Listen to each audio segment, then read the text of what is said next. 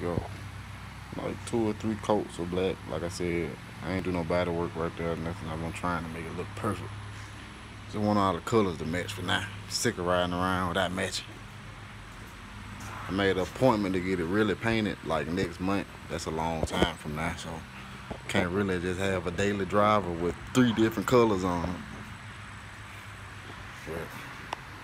Yeah, I mean, it look alright, except for all, there really ain't no runs or nothing except for right here.